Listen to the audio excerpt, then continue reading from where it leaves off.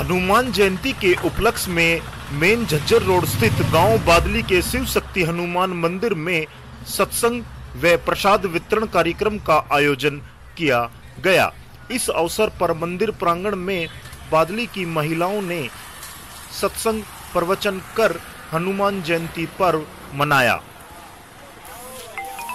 प्रसाद का वितरण किया गया आने जाने वाले वहरागिरों को हनुमान जयंती के उपलक्ष्य पर देसी घी से निर्मित हलवे का प्रसाद वितरित किया गया